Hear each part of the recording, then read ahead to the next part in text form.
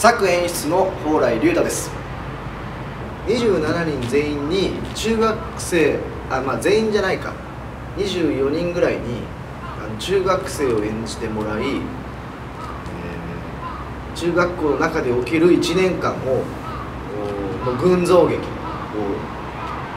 目指しております。そうですね。あのまず27人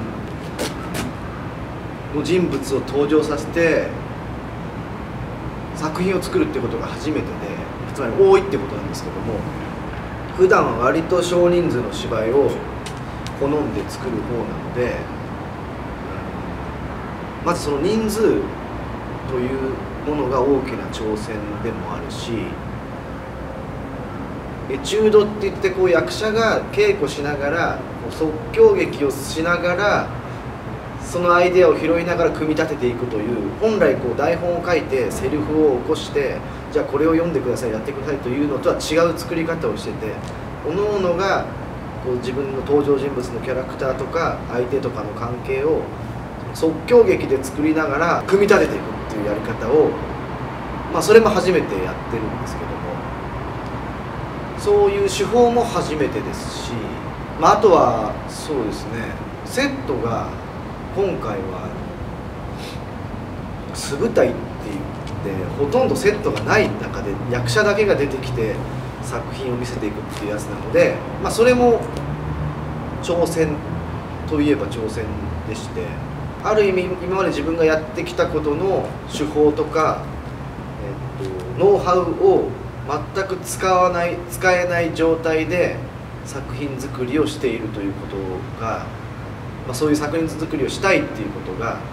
挑戦です、まあ、東京でやっている役者と広島でやってる役者が半分半分ぐらいなんですけども、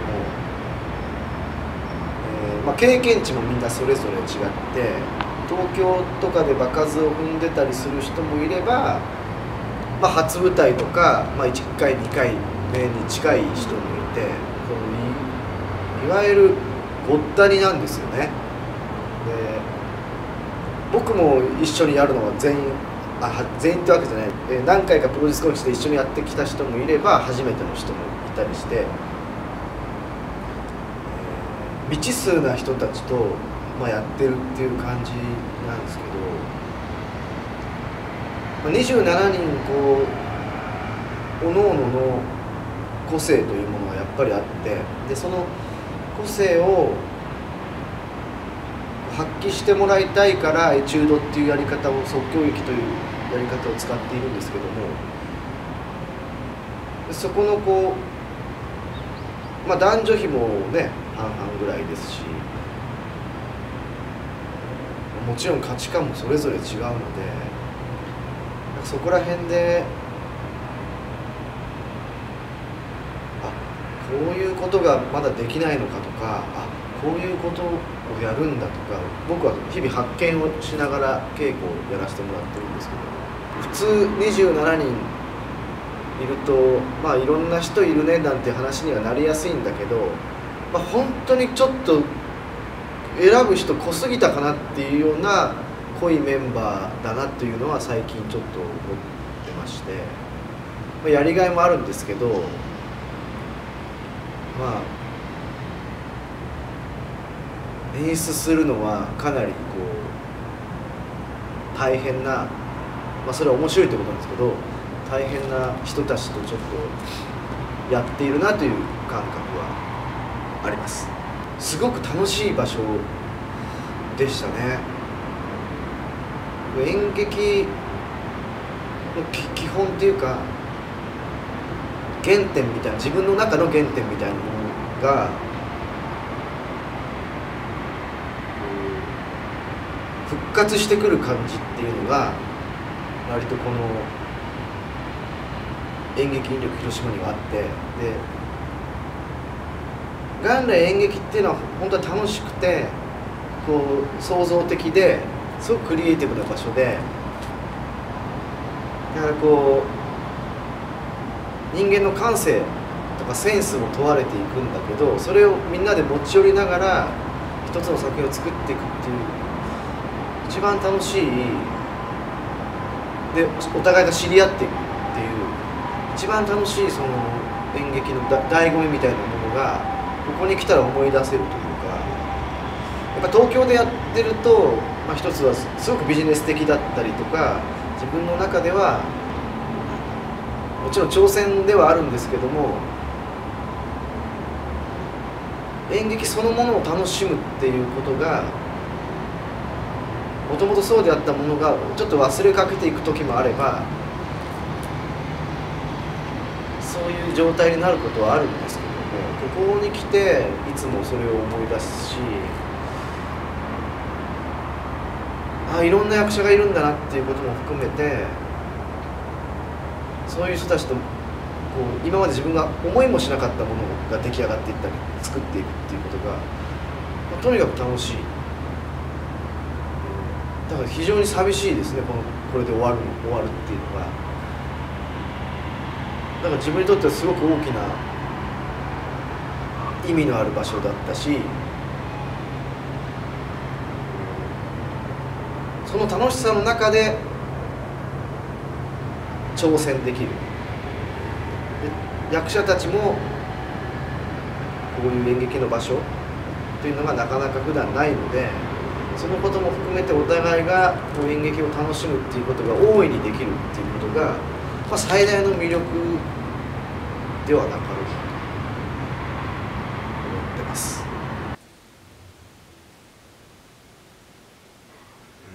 うんなんかそうシームレスにつまりこう場面転換とかこういろんなことが、えー、いろんなストーリーがこう交錯していくんですけど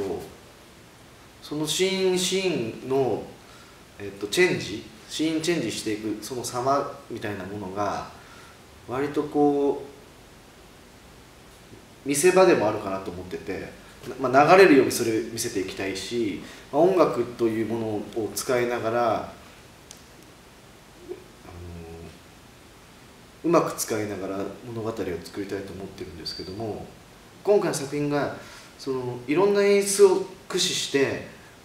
物語を見せなきゃいけないなっていうのはさっきも言ったかもしれないですけどそのほとんど素舞台でやるのであのその役者の肉体と発想力だけでこの芝居を最後までこう完走するっていうことがいろんな手を尽く尽くさなきゃいけないなっていう気がしててもう出し切れないというぐらいの自分の中のアイデアっていうものとか、まあ、役者からもらうアイデアその全てを駆使していくとどういう作品になるのかなっていう感覚は楽しみな感覚でもあります。まあ、一応その広島3年計画の最後でこう、まあ、2か月ぐらい滞在するわけなんですけどもまあそれも今回ちょっと最後なので、まあ、稽古やってみんなで役者でお酒飲んででまた稽古やってっていう日々なのでいろんな店行きたいなと個人的には思ってるんですけども食べ物も美味しいんでなんか意外と広島っていうものすごく居心地が良くて大好きな街なんですけどもその割にはいろんなところにはまだこう滞在してる割には行けてないなっていうところがあってなんかそこはああやれるのかなこの忙しいなやりたいけどねちょっと。ダメかもしれないですけどあの楽しみにはししているところですねいろんなストーリー何々編何々編みたいな感じでそれぞれのまあ一応こうチームみたいなのがちょっと分かれてまして、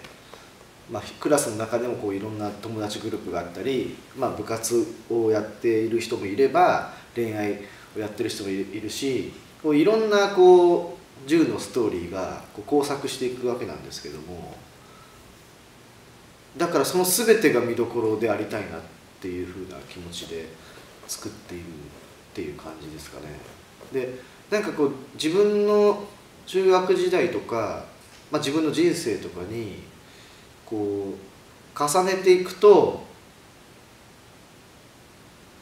あ自分は中学の時こんなこっち側のストーリーで生きてたなっていう人も多分いればまた別のストーリーで生きてたなっていう人も多分いると思うんですけども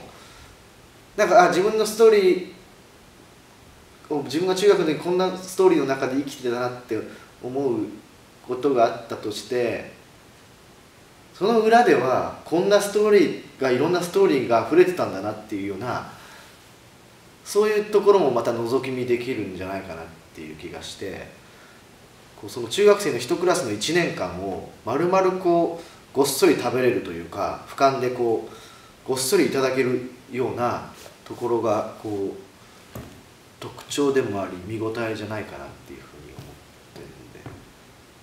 そこはちょっと注目してほしいですよね。おおいつまでいつまでやれるんだろうとは結構思いますね。2つの考え方があって需要需要があるあの作家として演出家として人からこう仕事を頼まれたり作作品作りをしてほしいって言われる需要がある限りっていうのが一つの考え方でじゃあ演劇っていうものに対する自分の活動というのは需要がなくても自分からこう表現したりとか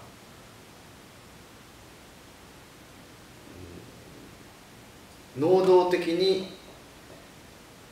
演劇というものをやっていくっていう気持ちはまあ